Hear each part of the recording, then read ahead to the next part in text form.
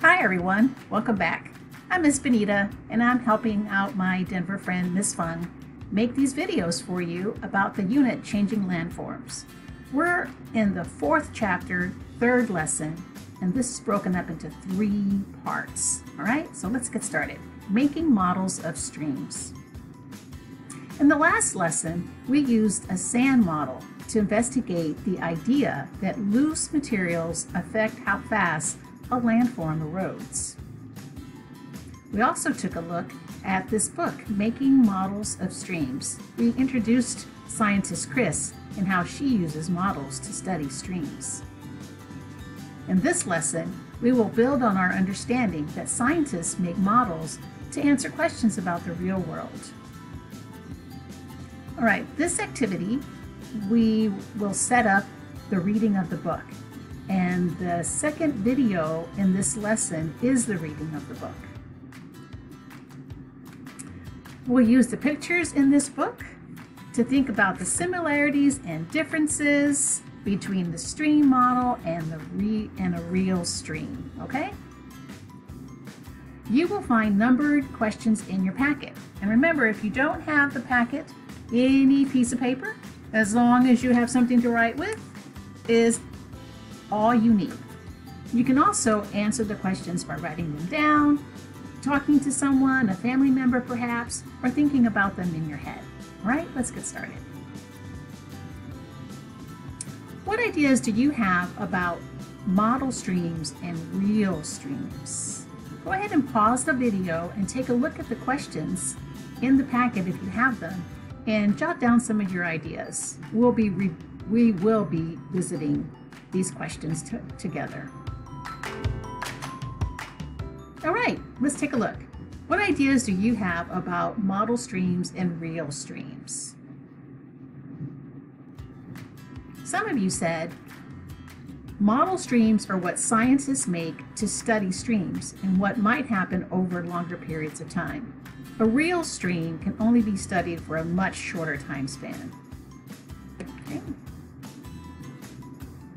I'll read the first few pages of this book. Let me get that going here.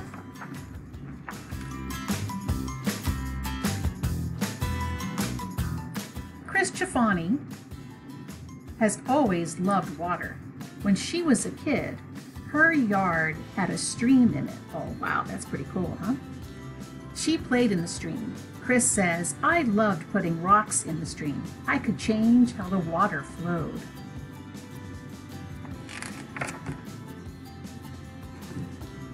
Today, Chris Chafrani is a water scientist. Like all scientists, Chris asks questions. Many of her questions are about streams. Chris asks questions like, when there is less rain, what happens to streams? How do roads and buildings affect streams? How do streams change during floods? Do you live near a stream? Do you know where there's a stream nearby?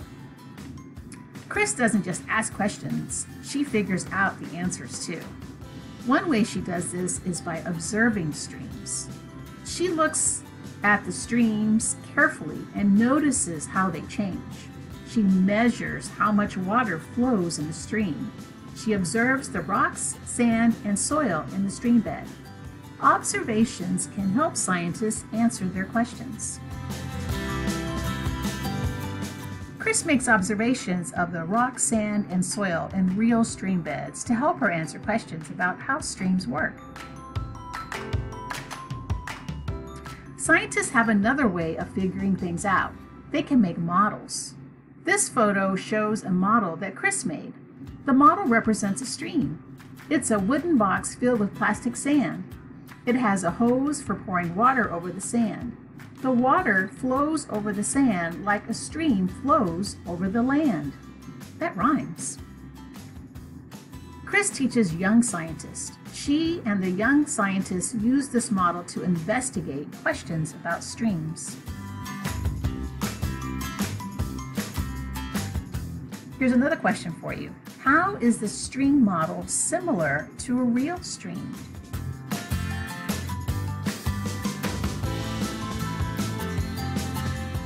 Okay, some of you said the model represents the stream. The water flows over the sand like stream flows over the land. Picked up on that rhyme, did you? All right, page six. The young scientists want to study floods. In a flood, lots of water flows through a stream. The scientists think that a flood erodes a stream bed and changes its shape. They don't know exactly how the stream changes, though. They want to investigate this question. How does a stream bed erode during a flood? They can't investigate this question in a real stream. They might have to wait years for a real flood to happen. Instead, they can investigate with a model. Remember, scientists create models when they can't investigate the real thing. So I'd like you to read the rest of the book.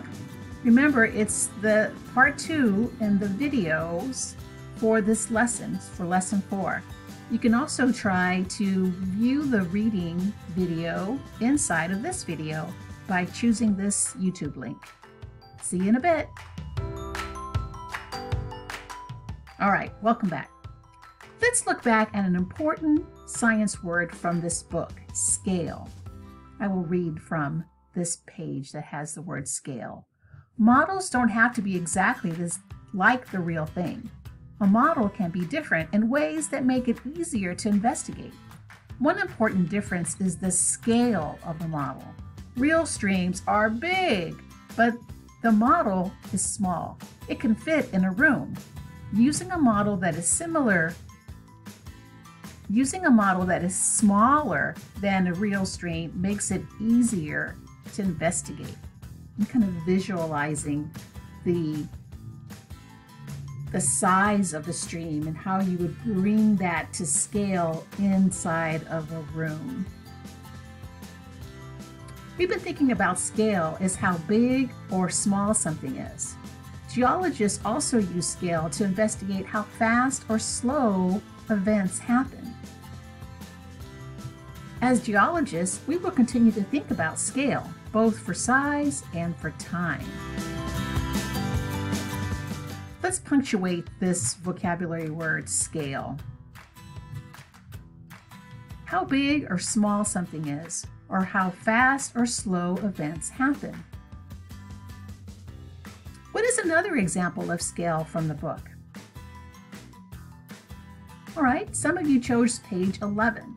To represent the stream bed, scientists use plastic sand. The pieces of plastic sand are smaller and lighter than real sand. The plastic sand is the right scale for the small model. The water in the model isn't powerful enough to erode real sand. It can erode light plastic sand though.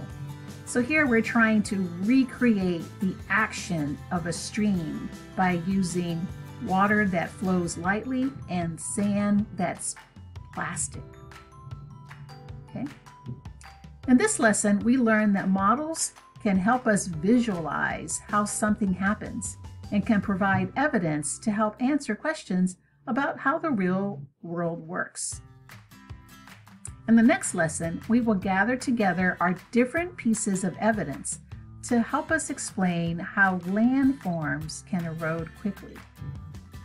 Well, I will see you for part three of this lesson.